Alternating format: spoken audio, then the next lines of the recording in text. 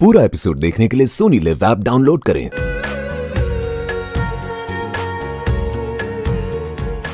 देखिए आप मुझे मत बताइए कि मुझे अपना काम कैसे करना है।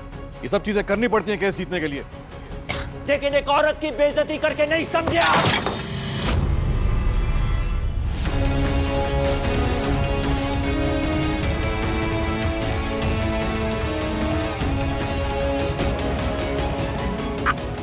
I'm sorry. I'm sorry. नहीं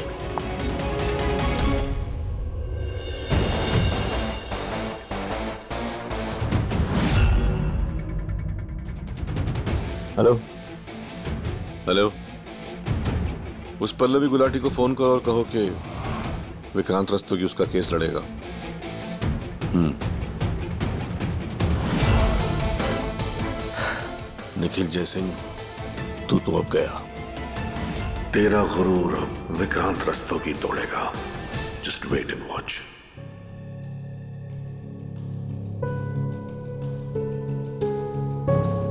समझ में नहीं आ रहा है। ये रस्तों की मेरी तरफ़ से केस लड़ने के लिए तैयार कैसे हो गया? वो तो निखिल की तरफ़ से था। अरे उसके असिस्टेंट का सामने से फ़ोन आया।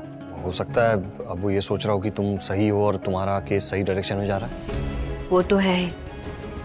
चलो किसी को तो समझ में आया। अरे आइए आइए। कैसे हैं आप लोग? प्लीज़ प्लीज़ बैठिए। चाय ठंडा आपको किसी ने पूछा? अरे Sujeet! So how you guys अरे भाई क्लाइंट्स के लिए कुछ चाय ठंडा वगैरह लेकर आओ कुछ समोसे वगैरह लेकर आओ। ये बताइए चाय कैसी लेंगे आप? अदरक वाली मसाले वाली या नॉर्मल चाय? नहीं नहीं कुछ नहीं। चलिए एक काम करो सारी ले आओ। भाई जिसको जो पसंद होगी वो ले लेंगे। और हाँ वो नेत्राम वाले नमकीन भी ले आना। भाई हमारे मेरठ का मशहूर है आपने तो चखा ही होगा। आप मुझे नोटिस सर्व करने वाले थे फिर क्या हुआ ये सब? आह, भाई हमारे देश में कई सारे एग्जाम्पल्स हैं। ज़्यादा दूर जाने की ज़रूरत नहीं है। ये बताइए कि महाभारत क्यों हुई थी? द्रौपदी की वजह से। तो किशन जी ने क्या किया? सच का साथ देने के लिए वो सारथी बने थे अर्जुन के। इसी तरह से मैं आपका साथ देना चाहता हूँ, आपका सच का साथ देना चाहता हूँ। ये लड़ाई आपके सच की है। एंड निखिल जयसिंह के साथ I was comfortable single man पैसे की कोई कमी नहीं है। किसी चीज़ की कोई कमी नहीं है। वो क्या समझ रहा है कि यहाँ मेरठ में आकर वो पैसे फेंक कर अपने बच्चों को ले जाएगा? उस दिन जब मैं आपसे मिला तो मुझे रियलाइज़ हुआ, आपकी स्ट्रगल में ही आपका सच है। और आपकी ताकत है। इसीलिए मैं आपका केस लड़ूँगा और आपका साथ दूँगा। पल्लवी जी, मैं भी एक पेरेंट हूँ। अवेरा मुझसे कोई छीन ले ये मैं सोच भी नहीं सकता। आपके और आपके बच्चों के साथ बहुत अनफेयर हुआ है, लेकिन मैं होने नहीं दूँगा आगे। ट्रस्ट मी अवीरा और गगन दोनों ही बचपन के दोस्त हैं। अवीरा के थ्रू ही मैंने देखा कि आपने अपने बच्चों को कितनी अच्छी परवरिश और अपब्रिंगिंग दी है। Thank you Rastogi ji. आप अगर ये केस ले लेंगे तो अच्छा ही होगा फिर। एक्सीलेंट तो चलिए फिर काम की बात करते हैं। आइए। सुदीप शाम को भेजो प्लीज़ आइए पल्लवी जी। हाँ सो पल्लवी जी निखिल जय सिंह की जवानी के दिन तो काफ़ी रंगीन रहे होंगे। हाँ? इसका केस से क्या मतलब है? अल्कोहल प्रॉब्लम है उन्हें? मतलब मुझे पता नहीं मैं मैंने देखा नहीं कभी। नोट्स ले लो बैठ गए। आप थी नहीं ना इतने साल तो आपको पता नहीं होगा। आ, आप बताइए रणवीर जी। जी। आपके साथ तो कहीं पैक शेक लगाए होंगे हाँ man to man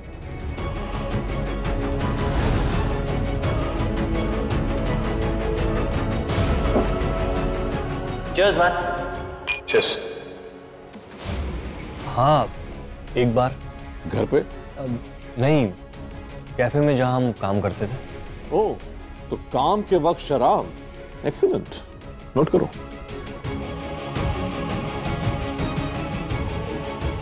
हाँ रस्तोगी जी काम के वक्त नहीं मतलब जब काम खत्म हो गया था कैफ़े बंद कर दिया था तब की बात। श्योर श्योर पर ये आप ये सब क्यों पूछ रहे हैं? इसका इस केस से क्या कनेक्शन है? हर चीज़ कनेक्टेड होती है पल्लवी जी। ये बताइए कि क्या आपका बेटा कैफ़े में अपनी मर्ज़ी से काम करता है? आ, राज़ी तो नहीं थी मैं लेकिन इससे पहले मुझे पता चले बादल को हायर कर लिया था निखिल ने। मतलब कि आपका बेटा जो इतने सालों से आपकी देख रेख में था अचानक से उसके फादर ने आके उसे अपनी तरफ़ करना शुरू कर दिया। हाँ निखिल में है वो बात। किसी को भी अपनी तरफ़ कर सकता है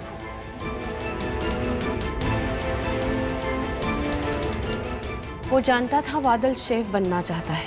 वो जानता था वो मना नहीं करेगा। उसका सपना था आफ्टर ऑल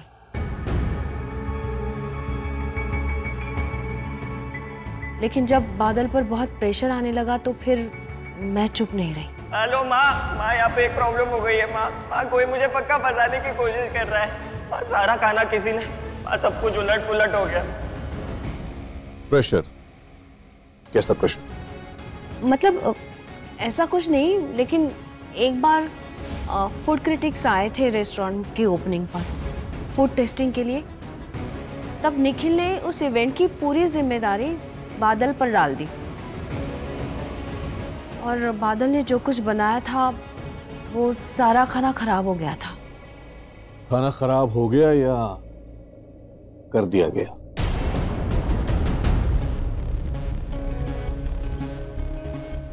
मेरे बेटे का काम बिगाड़ने के लिए तुमने खाने में ये मिक्स कर दिया था।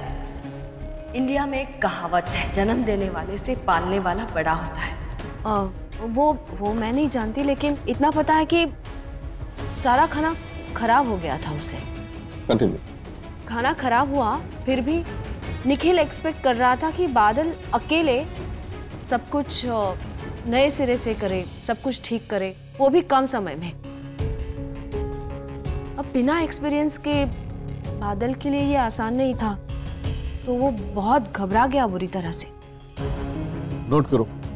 ट्रॉमा लेकिन उ- उसके बाद बादल ने सब फिक्स कर दिया था। हम सबने मिलके। फिर कोई प्रॉब्लम नहीं थी। और बस और लेकिन मुझे समझ में नहीं आ रहा है सर ये सब किस लिए?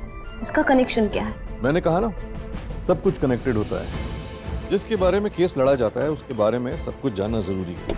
ये हमारी नॉलेज के लिए वैसे ये बताइए कि निखिल के खरीदे हुए कैफ़े में आपका बेटा जो काम करता है उसकी एज क्या है? सत्रह साल।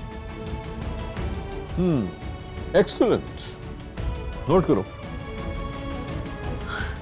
रस्तोगी जी मैं एक बात कहना चाहती हूँ आपसे। मैं और निखिल हस्बैंड वाइफ थे। आज निखिल कुछ हो ना हो लेकिन मेरे बच्चों का बाप है। मैं अपने बच्चों की कस्टडी चाहती हूँ। निखिल की बदनामी नहीं अगर आप सोच रहे हैं कि इस तरह